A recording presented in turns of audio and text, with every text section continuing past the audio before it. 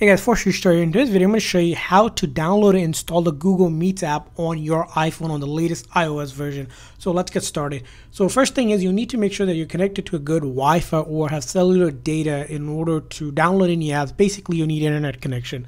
Now, after you have that, you're going to simply find the App Store app, which is the default app on your iPhone, and simply go ahead and open it up.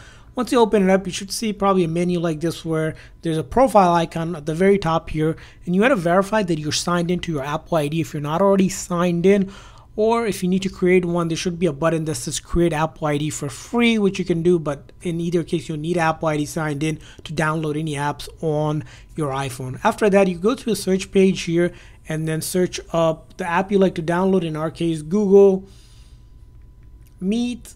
So we'll search up Google Meet.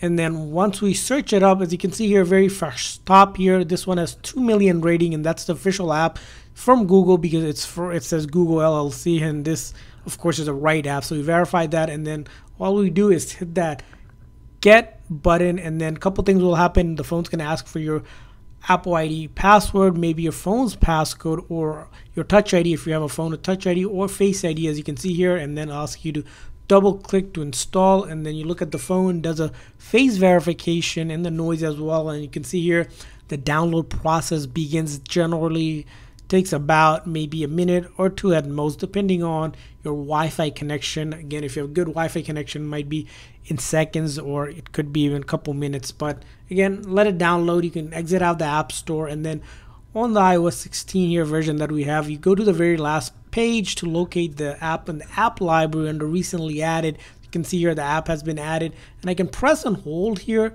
So if I press and hold, I have the option to add it to home screen and then now it's been added to my home screen and I'm ready to go here. I can open it up and launch it and that's how you go about downloading the Google Meets app on your iPhone. I hope this video was helpful. If so, please make sure to like and subscribe button. Thanks for watching guys. See you guys next time.